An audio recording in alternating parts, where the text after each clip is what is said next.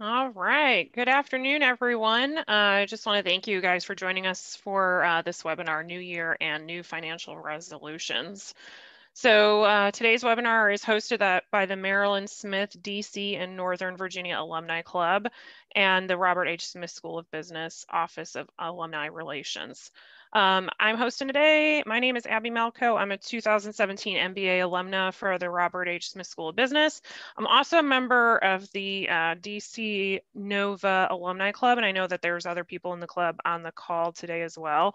Uh, I just want to give a couple housekeeping items before we get started. So the webinar is going to be recorded and it will be captioned. Um, we are asking everyone to please mute your audio line and disable your video. Uh, if you do have questions, as I'm sure you will, uh, we encourage you to use the chat feature to enter them or any comments you may have for the presenters. So with that, I would like to introduce our speakers for the evening. This evening we have Ben Offit. He's class of 2009. He's a principal at Offit Advisors. And then we also have May Jiang. She's class of 2012. She's a tax and financial advisor at Offit Advisors. So please welcome Ben and Mei, and they're going to provide additional information and begin their presentation. All right, thanks, Abby. Um, and thanks, Mark, for helping uh, set this up. So um, appreciate everybody being here tonight. And uh, hopefully my, uh, my PowerPoint works here. It's uh, not going to the next slide. Hang on. Here we go. All right, so um, our objective really tonight is just to, to help you and provide something of value. Um, hopefully you can learn something tonight of value. Uh, one thing would be great. If you can learn many things, even better. But um, really our objective at the end of the day is just to uh, provide some knowledge and insight that can be beneficial for you in your life and in 2021 as well. Um, I do want to make a disclaimer. My son is not yet in bed and uh, it's coming close to being bedtime and uh, he's, he's 17 months old. So you might hear uh, some background noise of him like banging on the window with his teddy bear or something like that. So uh, if that happens, sorry about that. Um, all right, well, here's our agenda for today. We just want to give you a brief background on us, and we want to explain why issues persist on following through with New Year's resolutions. We want to help provide a formula that can help you to solve that. And we want to connect this formula and process with your own financial planning. Um, and then we want to give you some updates on some new things in 2021, uh, some potential new tax legislation, student loan updates, and some financial hacks for 2021. So um, would really encourage you to stay through the end because uh, this is jam packed with information. And uh, I think it's some really helpful information uh, if you stay, stay through with it. Uh, so I think it's going to be really interesting. I think you'll definitely learn something and that's, that's our objective. Um, we want to make it interactive. So if you have questions, feel free to enter those in the chat. Uh, you know, I'm I'm open. I think May's open that if you have a question, we can try to answer it as you enter it. Uh, we want this to be interactive, you know, not just a, a, lecture, but you know, really conversational and just really want to help you. But we also have room for questions at the end as well. Uh, during the uh, presentation and the conversation tonight, we've got some TERP tests and uh, answer those, uh, participate. We'll have a winner uh, at the end, a special prize. So stay tuned for that. That'll be great. And yeah, you know, we really just feel at home with you guys here tonight because May and I are both both Terps, so we're happy to be with other Terps, and uh, you know, Terps are our family. So you know, we just want to help you guys, help our family members, and you know, make a difference for you. So uh, a little bit about me: I graduated in 2009. Um, I still, you know, can't believe it's been 11, 12 years. It really just rocks my mind. I uh, feel like it was just yesterday. I was, uh, you know, in college, but still have a great connection to the university, and stuff like this is great that we can give back and and help uh, help other Terps, like I mentioned. Um, I was in the Smith School, and May was also in the Smith School. I was an entrepreneurship major. Uh, I also was in the Hinman CEOs program, so it was kind of like a, a double dosage of entrepreneurship. And um, you know, when I got out of college, I, I kind of just fell into this financial planning uh, business. It wasn't something that I intended on getting into. Uh, I knew I wanted to be entrepreneurial. I knew I wanted to uh, help other people, like I mentioned. I knew I wanted to have the ability to build a unlimited business. And uh, this opportunity really just came to light and uh, just ran with it over the last 11, 12 years. We've really invested a lot of time and energy into building this business. And, you know, a lot of the stuff we'll talk about tonight is really stuff we've just learned, you know, over the course of doing this every day for 11 and 12 years. And I think it's really valuable stuff that we'll try to teach you tonight. Um, so this is a picture of me at graduation day uh, with my my two grandparents on my dad's side. Um, you know, both also are Terps, so they met at University of Maryland. Uh, it's just a special picture to me. Uh, my grandfather is no longer with us, unfortunately, but my grandmother is, and it was just great, you know, having them together uh, with me on that graduation day. And uh, you know, I wouldn't be here if it wasn't for them, and I wouldn't be here if it wasn't for the University of Maryland because that's that's where they met. Uh, this is my wife and I. We also met at Maryland, and uh, this is about when my son was uh, a month old uh, last year, or I guess two years ago now in 2019. And this is us coming back uh, in September, walking around the mall, and uh, he looks a little bit disheveled there. Um, but you know, my wife and I met at Maryland, like I said, and you know, our son also wouldn't be here if it wasn't for Maryland. So definitely appreciative of that. And then this is just uh, a cute picture, I thought, of my son and I. And uh, he's wearing a Maryland jacket and uh, just makes me smile. Just a cute guy. Um, all right, go ahead, May. Uh, good evening, everyone. Thank you so much for taking the time to join our webinar today. Um, my name is May Jiang, and this is me about 10 years ago with my kids by my side, graduating cum laude with degrees in accounting and finance. So that is definitely one of the, the proudest moments in my, in my life. Um, as an immigrant, I worked really hard supporting my family, uh, working and studying full time, and, and, landing a job with one of the big four accounting firms. Uh, as an advisor, I have been advising businesses uh, from a all sizes. Uh, solopreneur to Fortune 500. Uh, uh, unlike Ben, I didn't go through the entrepreneurial program, but I um, really wanted to start a business when I uh, immigrated here. When I first landed here, I didn't know how, and it was like so many unknowns. I ended up uh, studying accounting and uh, finance, and um, now I support many entrepreneurs and business owners and um, help them to be more profitable.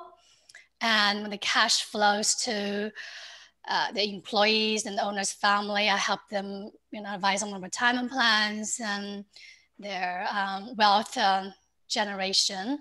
So it becomes like a full circle for me to uh, be this trusted advisors for businesses and uh, owners and their employees.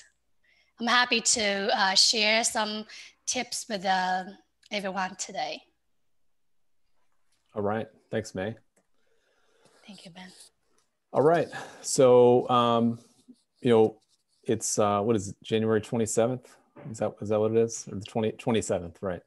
So approximately 80% of people who make New Year's resolutions have dropped them by the second week of February. So uh, that's coming up. And uh, I'm sure that's something you've heard of before, but it's true you know um, people come into the new year with lots of ambition and energy and excitement about the new year and uh, they've got different goals whether they're financial goals or personal goals uh, professional goals but usually you lose momentum starting around this time so i think you just need to decide are you going to be one of those people that follows through on what you want to get done uh, make this year the year that you want um, or are you just going to let it slide so tonight we'll talk to you about some techniques and strategies to help you follow through in a productive uh, way.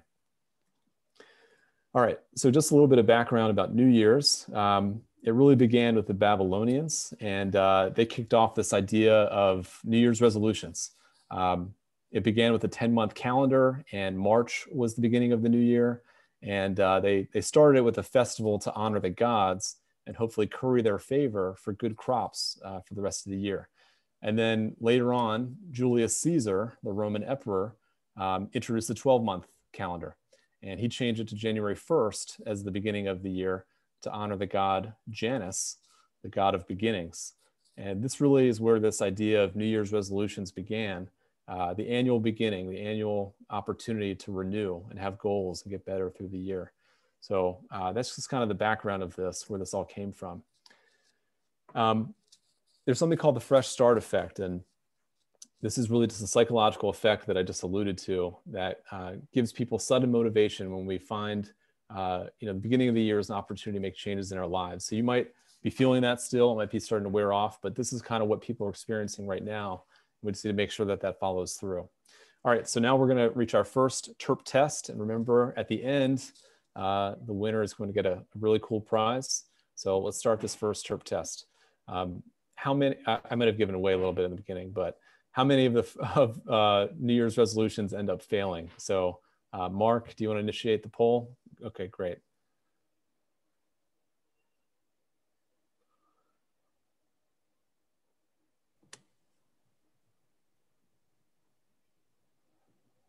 All right, got a lot of votes coming in. I think we've got 76% counted. Got a few more out there. Okay, I think we got it. All right, so 60, oh, you gonna you can announce it, Mark. Go ahead. Okay, no, great. So we had 62% that said 85% and 38% that said 75%. Okay, well, the majority of you got it right. Uh, not surprising, uh, very smart group of Terps here tonight. So 85%, that's right. So, um, you know, that's, that's kind of sad. That's kind of, you know, unfortunate, you know, that 85% of people don't have their resolutions, you know, come to fruition uh, and they end up failing, isn't it? You know, so what could we do to try to change that? What could we do to try to make that better? And um, it seems like my PowerPoint, here we go. Okay. So going back to you know ancient times and philosophers, this is a quote by Socrates. Um, the secret of change is to focus all of your energy not on fighting the old, but on building the new. Okay, so it's not about fighting your old habits, it's about building your new habits. How do you build new habits appropriately? Um, what prevents progress and real change on following through with our New Year's goals? Well, number one, we try to change too much at once. Number two, we try to change a habit that's maybe too big, too audacious. Uh, and number three, we focus on the results instead of the actions to get there. So we will we'll dive into these uh, more deeply, but those are the three main things that prevent people from following through and making real progress. So again, going back to what Socrates said, the secret of change is to focus all of your energy not on fighting the old, but I'm building the new. Um, so we have a formula as to how you could follow through in 2021. So number one is start with why, you know, figuring out what this goal actually means to you on a personal level and an emotional connection as to why that's important. Because if that's not there, um, it might not mean that much to you to really actually follow through. Uh, number two, um, not make it too much or too big at once. Take steps, you know, one step after the other. Um, and number three, focus on smart activities, which we'll dive more into. If you can follow these three things and add them up, that will create your results. So let's just dive a little bit deeper into this now. So this is Simon Sinek, who many of you probably know. Uh, you can maybe consider him a modern day philosopher or a modern day guru. And uh, he came out with this concept called starting with why, you know, very watched video and concept. And um, you know that really is just about you know understanding why things are important to you. You know it's got to really elicit a strong emotional and personal feeling and you have to really desire it and why. It has to really you know hit you you know in the heart you know to really matter that that much you know to make it um, if everybody could just mute we got some background noise there so make sure you're muted um, but that's super important and that's what simon sinek was alluding to this is a, a, picture of two gentlemen in the Depression era. Uh, this is an era that my, my grandparents came from that I showed you a picture of earlier. And it's just showing you, um, you know, they might be out of work in that, in that time frame, uh, very desperate to find work and, you know, make money to support themselves and their family. So you know, what I found with my grandparents, and I think a lot of, you know, you might also, you know, share the sentiment maybe with your grandparents or great grandparents or even parents um, that were growing up in that era, um, is that, you know, maybe they're really focused on being frugal or they're focused on saving money or working really hard. And I think that comes from this emotional why of, you know, they grew up in a scary time or maybe, you know, they were out of work or their parents were out of work and they could barely afford to pay rent, you know, or put food on the table, you know, so that became their why, you know, financially. You know, they don't want to go back to that time frame, so they do everything that they can to avoid that pain uh, that maybe they experienced growing up. So that that's the example of, um, you know, finding a why uh, that's important to you. So step two, you know, um, not trying to do everything at once and, you know, um, making it simple, Sim- the simpler the better and quantifying it and uh, breaking it into quarters, for example. So, you know, a fitness goal example might be in the beginning of the year, what a lot of people try to have fitness goals and they say, well, you know, I want to lose weight and I'm going to start going to the gym every single day at five in the morning. You know, I'm, I'm going to do it. I'm going to do it every day at five in the morning. And that sounds great, you know, but then three days go by, four days goes by, you know, two weeks, three weeks, and they, you know, maybe start to lose that momentum, lose that energy, and maybe committing, you know, to every single day uh, working out at five in the morning from not working out prior to that is a too big of a leap. It's just too big of a change all at once. Um, so what starts to happen is they start to lose that momentum and they gradually drift back into their older habits just because it was too much of a radical change um, at once. So, you know, what we're promoting, what we're saying is instead of trying to do too too much at once, you know, maybe focus on something that's more sustainable or more more accomplishable, if that's a word. Um, you know, um, maybe start with two days a week of working out, um, or three days a week, or maybe not at five in the morning, and then you can work up to that over time. So taking bite-sized pieces and focusing on one step at a time is a way that you can do it. So this is a visual representation of that. This is showing someone trying to cross the Grand Canyon, uh, which is extremely scary, um, you know, on a high rope. Uh, I could never do this, but you know, this gentleman is able to do it because he's not focusing on crossing from one point to the other. He's not focusing on the Grand Canyon. He's focusing on one step at a time, one step at a time, one step at a time, one foot after the other. And if you can do that, you know, that's the philosophy that we're, you know, saying can help you actually follow through on what you want to get done. Um, and then, you know, the final step here is smart uh, activities, smart goals. So um, we'll talk about that in a moment, but this is time for our, our TERP test number two. What does that actually stand for? So you've probably heard that acronym before, but what does SMART goals stand for? Is it A, Go ahead. You can read it.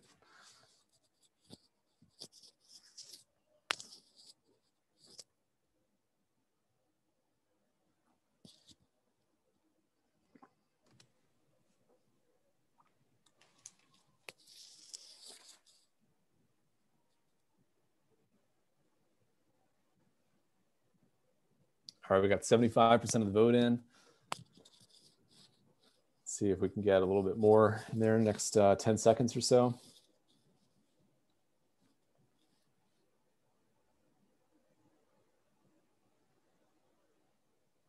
Okay, I think we're good. Mm -hmm. All right, we have 87% that say specific, measurable, attainable, relevant, and time bound, and 13% that say smart, measurable, actionable, real, time bound. Okay, let's see what the answer is.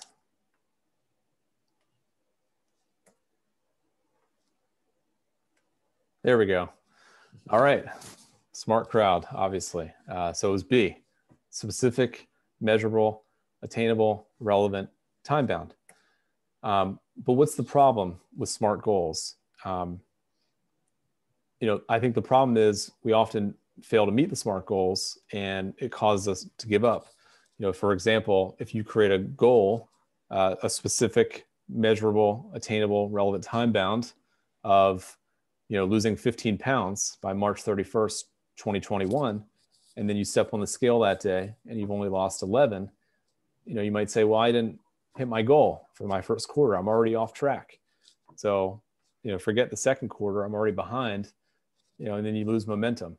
So instead of just focusing on the result of the goal, um, we're saying focus on the activities that get you to the goal. And that's really much more in, in your control. Um, let's not go into the next slide. Here we go. Um, so focusing on the action to get those results and doing the activity in support of the goal that you greatly desire achieving. Um, if you focus on what you really want and you stay accountable to those steps, that's what will help you to follow through. Uh, some research, research says that a habit can take 18 to 254 days to stick. So you really need to focus on developing habits and systems that can be repeatable on a daily basis. Uh, and that's what will lead to the results that you want.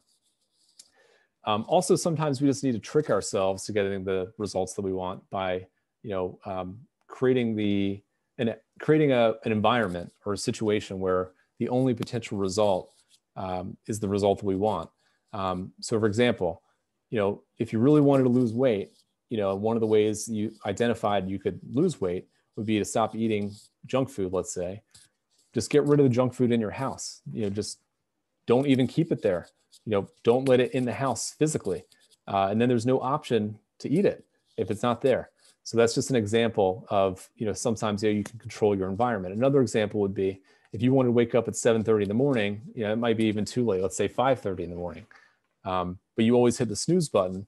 Well, is there something you could do to actually force yourself to get out of bed at 5.30 instead of hitting the snooze button, which is something that you're, you know, minimizing the, the, the purpose of the alarm clock, which is to wake you up.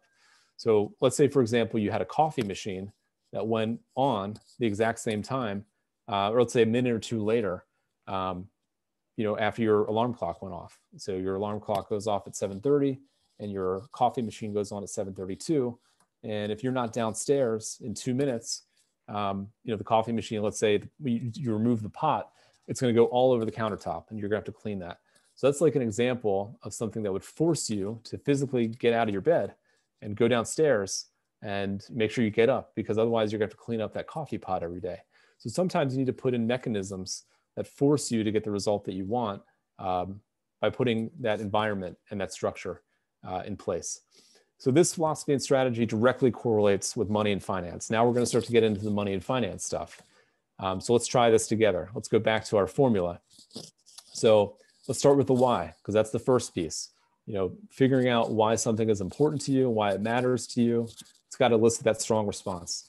So think about, you know, where you're, where are you now financially? Just really, you know, take a moment and really think about where are you right now uh, financially, okay? And where do you want to be financially, okay?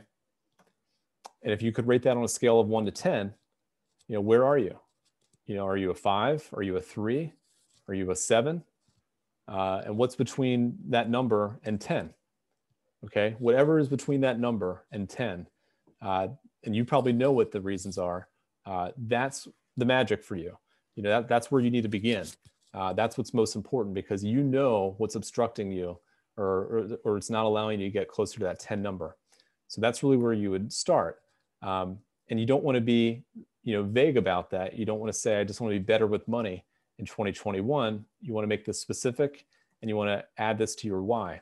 So this is, a, this is an actual example that we got from a client of ours. So this person said, I'm a six.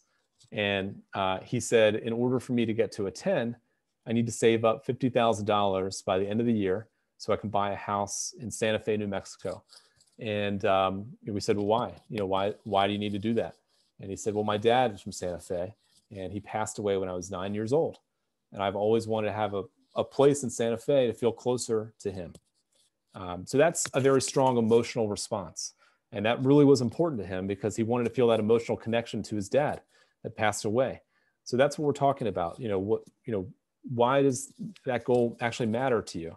So this person, you know, we were able to identify, you know, a very strong emotional reason and then we were able to start to break that down into a not too big or not too much at once um, strategy to help this person get there. So they said, I have $26,000 now, and I need to get to $50,000 by the end of the year. So therefore, I need to save 24,000 this year, um, or $6,000 per quarter. Okay.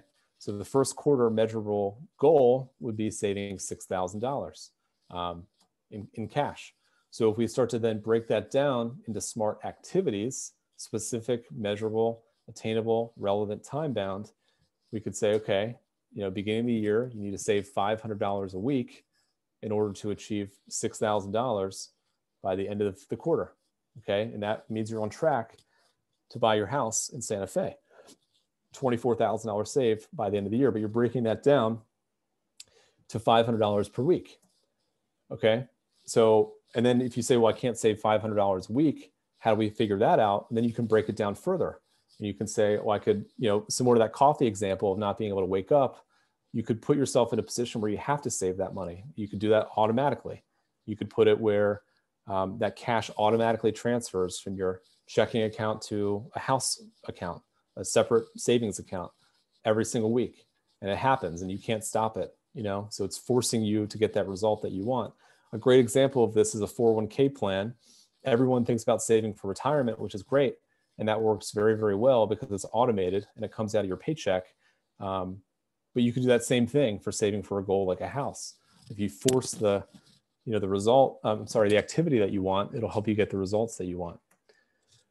So, you know, just diving down into this a little bit deeper, you could divide it up into quarters and you could say, you know, it, you know, I can't save the $500 a week yet, but in order to do that, first we need to clear up some credit card debt. And then we need to have a more cash, cash flow system, cash flow structure. We need to modify our spending behavior. Maybe we need to save some money on a student loan refinance. You know, maybe those are some steps that someone needs to take before they can even save $500 a week. Um, and that might be quarter one. And then quarter two, you know, maybe it's, you know, creating a disciplined um, spending strategy where that person can only live on $250 per week, which allows them to save $500 a week. So you're forcing how much you're allowing them to spend. Um, you know, and then you can get it once they've got that habit, you can get into other things like quarter three, reviewing investments or quarter four, reviewing education or insurance or other things. But it's about taking a step-by-step process that allows you to execute on these things.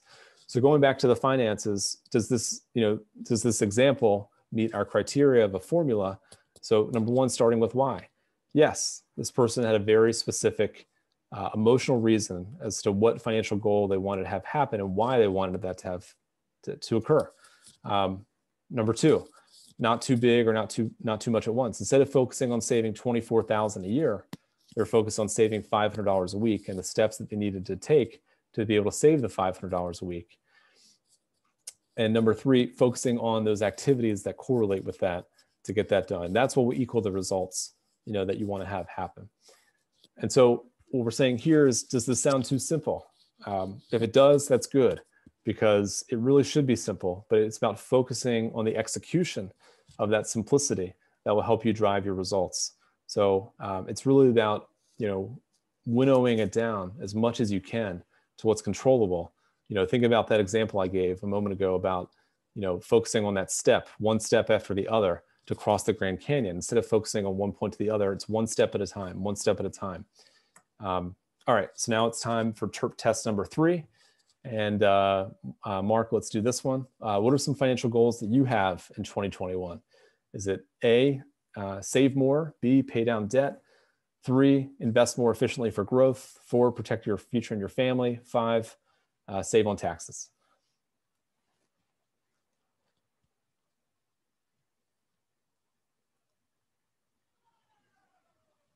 Okay, got about 65% in. And I hope everyone's staying tuned because we got a lot more good stuff coming up. Uh, stay tuned. We got a lot of really interesting stuff coming up. Um, don't leave. All right, we've got 88% uh, voted. Uh, go ahead, Mark. All right. Looks like our majority is 61% that invest more efficient, efficiently for growth and followed by a tie with pay down debt and save more. Okay. Invest more efficiently for growth. Um, that makes sense. Uh, we could dive a little bit more deeply into that, but you know, um, I, I, didn't make a slide for this exactly because we weren't exactly sure what people would answer. But to invest more efficiently for growth uh, comes down to a few things. Number one, your asset allocation and your diversification model. So making sure that you have all the major asset classes in your portfolio, large cap, mid cap, small cap, international emerging markets, international developed markets, real estate, commodities, things like that, that you're not overly concentrated in any one asset class because diversification proves that over the long term, winners and losers rotate. So if you're missing out on some of the asset classes, you're going to miss out on some winners each year. And also controlling your behavior, not trying to time the market, not trying to chase after returns that have already been experienced, that are already high, or trying to sell out of you know holdings that are down, because then what you're doing is you're selling low and you're buying high. So um, instead, you want to you want to buy low and sell high. Um, that's, that's a second major tip about investing efficiently. And then a third major tip: the more exposure you have towards equities, um, instead of fixed income, um, the higher your returns will be long term because equities historically produce much higher returns than, than fixed income and bonds. Uh, so the higher your allocation is that, the more your returns are going to be long term. Um, we can dive more into that if we have time. Um, okay, and let's see. All right, does anybody want to talk? And we can you know take a pause here. Does anybody want to talk briefly about you know any of their own financial goals? You know, we promise we won't bite. This is a very cute puppy here. Uh, we're like the cute puppy. We won't bite like the puppy. Um, if anybody wants to talk specifically about their situation, we can take a pause here just you know go through any of their financial goals or your financial goals.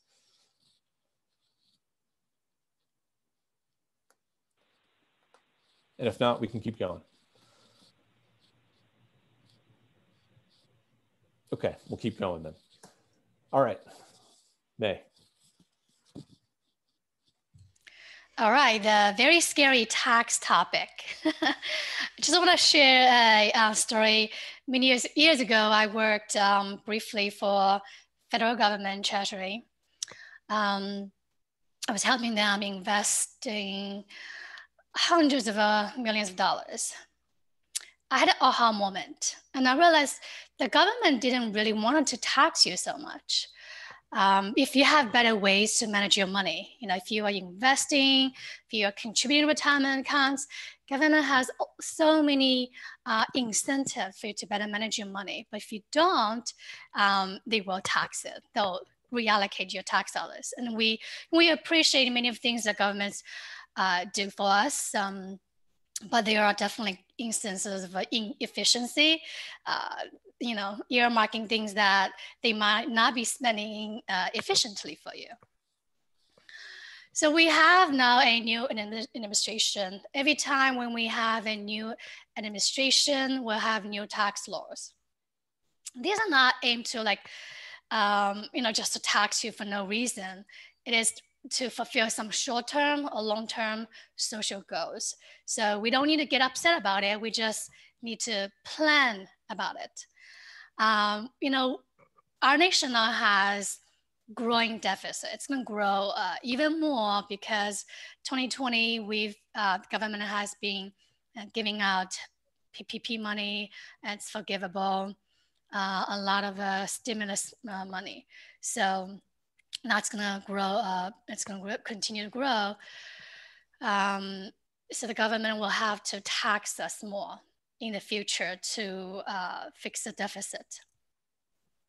So under Biden administration, we can potentially see the tax bracket uh, change. The high earners will probably have uh, close to 40% tax rate instead of 37%. Uh, That's what we have right now. And the Social Security tax wage, right now, 2021, it's $142,000 that's going to increase. That means you're going to pay more uh, for Social Security tax. For capital gains, uh, right now, highest uh, is 20%, right? That is the, you know, if you invest in stock market, if you have rented property, uh, anytime you sell your investment properties, you can have capital gains. Um, the new, there could be potentially increase uh, the capital gain be taxed at um, highest your highest uh, margin? Could it be 40% or you know 25% based on your tax um, bracket? The estate tax. Currently, we are at uh, the exemption amount is 11 million dollars. So that means um, if you leave uh, uh, asset worth 11 million dollars to your offsprings, it won't be taxed. So in future, this could be lower. Could be like, um, you know, 5 million, 3 million. So if you leave more than that to your offspring, the tax is gonna uh, it's to be really high. And the step-up basis, um, this thing, this matter is um, you know, if you inherit inherit uh, properties um, from your loved ones when they die, your basis uh, currently is at a market value. So if the house, uh, when uh, you know your great grandparents bought many years ago was uh, $100,000, now it's $1.5 million. You inherit it and you sell it you don't pay any tax because it's step up to current um, value. But um, if uh, the new law changes the step up basis, which will make you uh, uh, have the basis of your great grandparents, $100,000. And then you have to pay tax on that $1.4 million uh, of capital gain. Um, but um, there are ways to uh, manage that for sure. Um, there's a planning strategies to avoid all those um, tax hikes. Uh, just for example, social security tax, right? Uh, if you are getting close to $142,000, what you could do is you max your um, pre-tax uh, contributions, your 401ks, your IRAs, and your HSAs, which is for my medical, but could also be used for retirement once you are 65 years old. If you have, uh, as a W-2 uh, employee, have maxed everything for the pre-tax um, and you could be trying for um, after-tax uh, uh growth accounts. These, these growth accounts can be uh, tax-free um, for, for the growth, such as cash value life insurance, and Roth account. Even um, for like a cash value life insurance, right? You you purchase it, and that's at with after tax dollars. But the growth inside the cash value growth will never be taxed, and if you use it, you're not going to be taxed or pay interest on that. Um, the Roth account, uh, it's even better. Um, Roth is such a um, versatile account. Uh, even if you are not qualified for it, if you make too much money not qualified for it, there's a backdoor Roth, there's a mega um, backdoor Roth, which you can put in uh, individual account, traditional, uh, non-tax deduction at all, and then convert to Roth. And what happens is Roth will be never be taxed again. Uh, so if you know the deficit is growing, the government's are taxing higher and higher, and you can then, uh, you know, your Roth does not impact your tax at all. Uh, some people might, you know, take a 401k uh, distribution, and that will actually impact their social security income, might reduce that. And um, but the Roth does not impact any of that, and it doesn't have minimum requirement distribution. Uh, when you hit certain age. So it's really a flexible and very beneficial tool for you. Um, so, you know, if you I know many people have all kinds of feelings regarding tax. Some are very fearful, some are stressed out. And well, I know some of you here today might be excited for some refund. But um, if you have any questions and would like to ask for strategies for planning, uh, Ben and I would be happy to help you and design uh, a plan for you. So uh, make sure to um, email us after the webinar. All right, great. Thank you, May. Um, all right, so in addition to tax planning strategies, we promised some financial hacks for 2021. So these uh, are going to be rapid fire. We're going to try to get into this as much as we can, and um, you know, just have um, you know probably about you know 10 minutes left about some really great ideas uh, that you could take advantage of this year that can make a big difference in your financial life. So number one, May just alluded to you know 401ks, but you really should think about maxing out your contributions if you can from a cash flow perspective, 19,500 in a employer sponsored retirement plan. This is a pure tax deduction. If you're over the age of 50, you could do another uh, 6,500. Uh, those are catch-up contributions. Those are some of the best forms of uh, tax deductions uh, that are out there. Uh, number two, you can do it as soon as possible um, if your plan allows. So not everybody knows this, but if you've got a retirement plan at your job, some plans allow you to max it out sooner than 12 months. So if you've got good cash flow and your plan allows for it, if you can do it in the first three months or the first six months of the year, that allows you to get more money into the market immediately. And the sooner the money is invested uh, over time, the better it's going to do because it's more time in the market. Um, number three, uh, take advantage of HSA. May mentioned that as well, but that's a health savings account. In 2021, if you're an individual, you can do $3,600. If you're married, you can do $7,200. If you're over 55, there's a catch up additional contribution of $1,000. This is the only vehicle in the tax code that's triple tax free. So you have a high deductible health plan, and then you save money to an HSA, you'll save money on your premiums.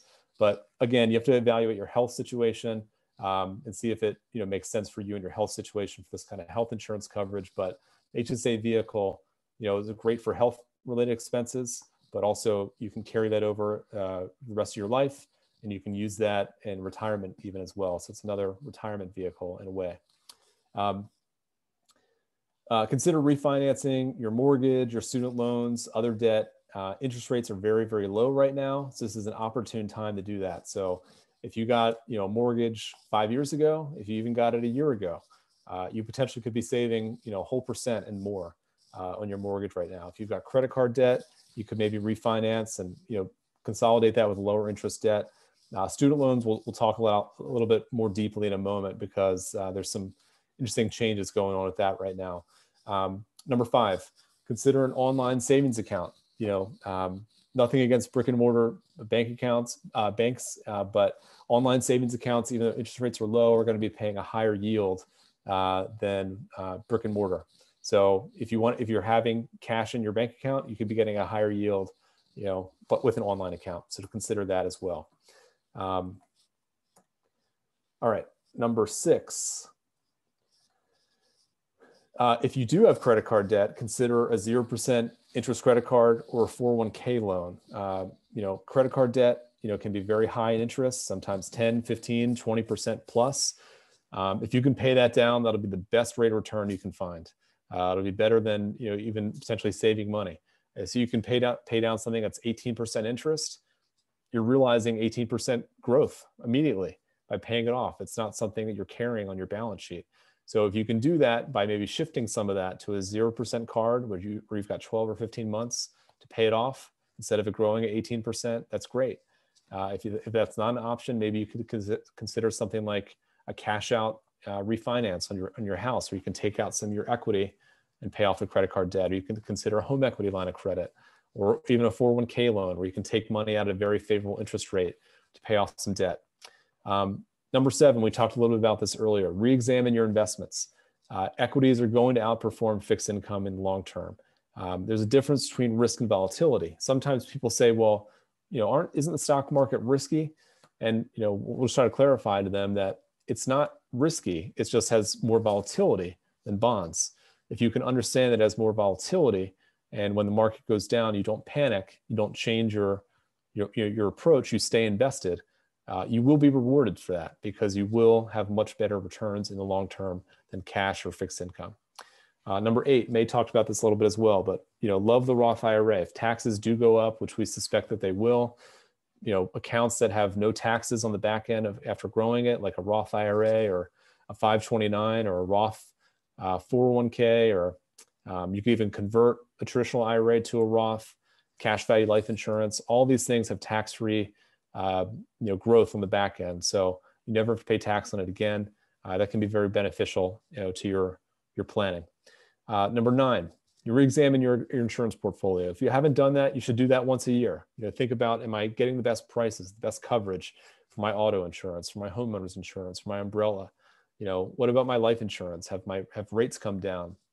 Do I have enough disability income protection?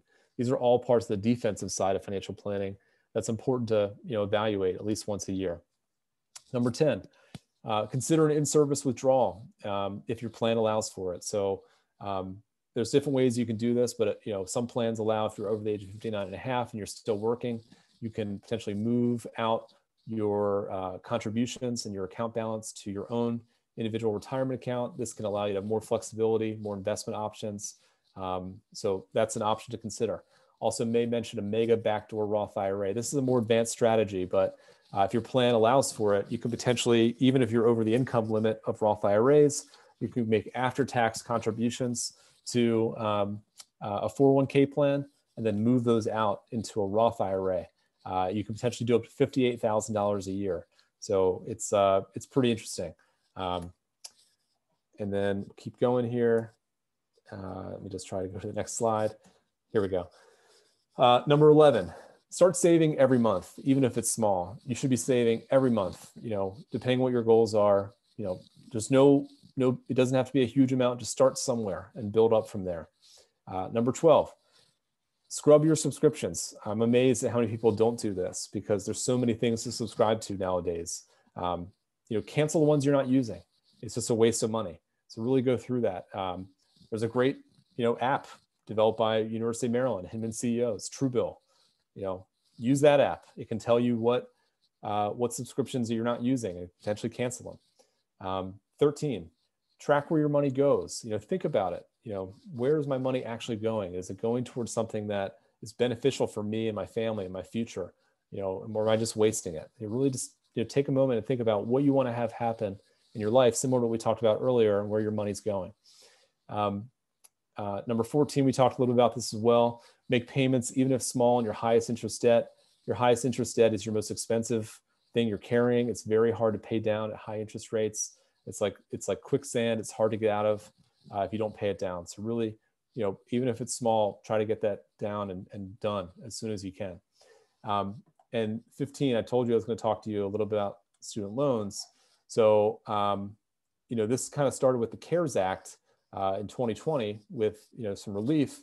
But, you know, if you've got federal student loans, I'm not talking about private student loans, but federal student loans, those are those were interest free uh, until January 31st with the CARES Act, and now that's been extended uh, till September 30th of 2021.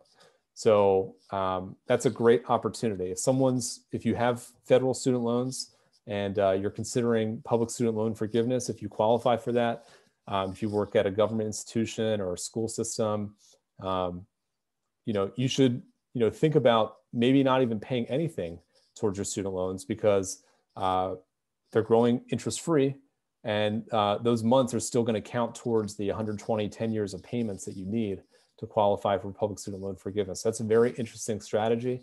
Um, if you have private loans, again, I'm not talking about that. We're talking about federal loans. Um, but if you do have federal loans uh, and you're not eligible for public student loan forgiveness, you might not want to consider refinancing those right now uh, because you can pay them down at 0% interest. So that's a better interest rate than any refinance uh, right now. Um, so it's something to consider as well. Um, okay, and then just real quick, uh, we're wrapping up here, but you know, just wanted to talk about a few other things to not do in 2021. And um, number one, uh, don't listen to pundits that say they can predict the market because uh, they can't. Um, it's one thing to understand, you know, um, markets and how they work. Uh, it's another thing to make short-term market predictions. Uh, your investment decisions really need to have a longer-term outlook and uh, you know these market experts really don't know exactly what's going to happen next week or next month or this year. So really focus on investing for the long term, not the short term. Number two, um, don't just invest into whatever the best performer was last year. So um, you know, for example, large cap growth stocks did great last year. Uh, but that doesn't mean that you need to shift your whole portfolio into that right now because that's at the top of the market. You'll be buying, you know, really high if you do that. So, you know, in the long term, you'd be better by having a diversified portfolio, like we said, and focusing on buying low, not buying at the top. Um, number three, don't listen to your neighbors about, um, you know, how they've beaten the market and how smart that they are. Uh, if they are talking to you about how great they've done investing wise, you know, be skeptical because, you know, maybe they haven't calculated their return properly, um, or maybe they're not benchmarking it appropriately, or maybe they're not, you know, risk adjusting their returns uh, or they could be just talking about investments they own right now, not the losers that they had last year or the year before that they got rid of. Um, so, you know, if you follow your neighbor's advice, what we find happens more often than not is you end up buying what's done well recently and you end up regretting it. Um, number five, don't diversify in the wrong way. So we believe, you know, don't necessarily just diversify financial advisors as a way to hedge risk. If you've got multiple advisors for multiple accounts, You, know, you can get conflicting strategies, uh, more fees overall. It's more complicated to track. Um, you might have unnecessary overlap in your securities. It might be more complicated with tax reporting, more difficult to organize if someone passes away. Um, so you know, just think think through that. Uh, number six, don't procrastinate. This is what our whole presentation was about. If you've got things you want to get done this year, um, get it done. You know, create a plan to get it done. You know, take action on it this year. Don't wait to get life insurance. Don't wait to get your estate plan done. You know, if you've got a big stock position that you need to divest of, you know, think think through when you're going to do that. You know, start saving for retirement. You know, get it done this year. Don't procrastinate. Make this a year of getting things done. Number seven, you know, don't leave too much in cash if you have too much in cash. It's great to have cash, but cash is a very inefficient asset and it could be costing you money by having too much of it in savings. So, um, you know, even though we talked about online savings accounts getting better yields than brick and mortar, if you've got too much cash in the bank, you know, more than you need, and it's earning, you know, half of a percent or 0% or 0.1%, and inflation's growing at two or 3%, you're losing two to 3% a year. So, um, you know, be cautious about having too, too much cash. You might want to put more of that money to work for you if it's just sitting there. Um, and number eight, you know, just don't do stupid stuff this year. Don't go on a whim and just go buy a ton of Tesla stock just because you think it's the best stock to own or leverage ETFs or don't just go day trading on a whim and, you know, buying a ton of Bitcoin, you know, be smart about it, be reasonable, have, you know, sound decisions, think it through, think for the long term, you know, don't just go buy a bunch of things on credit cards, just be smart this year. Um, you know, so those are some of our top things to do in 2021 or not to do in uh, 2021. And uh, all right, we're making it through to the end. And, you know, you guys stayed we told you we'd have a prize for everybody that stayed through to the end uh, and that, you know, uh, answer the question. So here's our prize. Um, this is a great video. It cracks me up every time I watch it, puts me in a good mood, puts, puts a smile on my face. This is your prize. Okay. Uh, enjoy.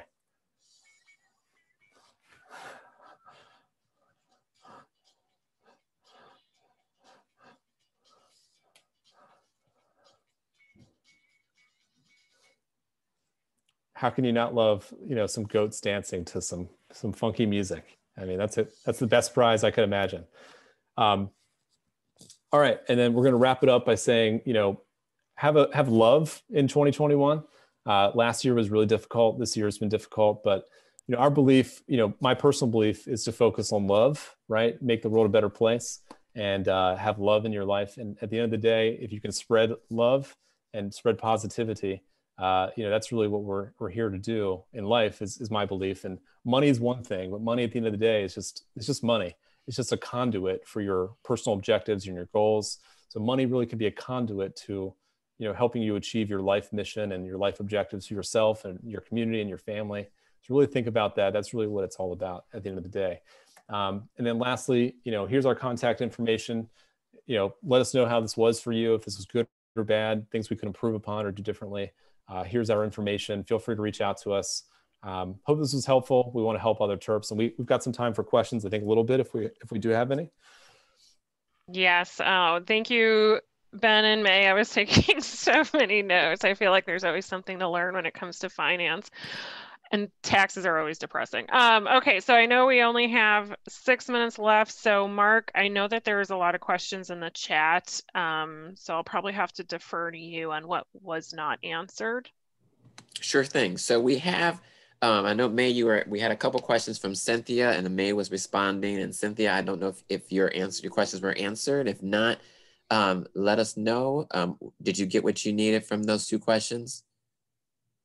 There's a question on pre-tax Roth salary and then another on um, money's into putting money into a CD instead of a savings account. I think your question might have been answered by May. Both of those questions were answered. If not, we'll come back to those.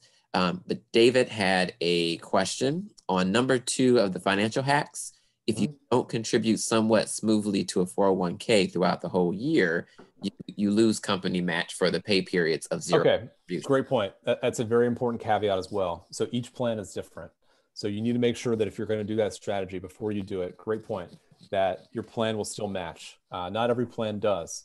So if your plan will continue to match, even though you front load the contributions, then it makes sense to do it. If they don't, it doesn't make sense. Perfect. Okay.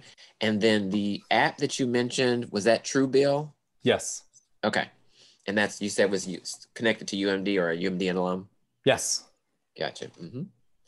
And those are the main questions. Unless Cynthia, unless we didn't mention, and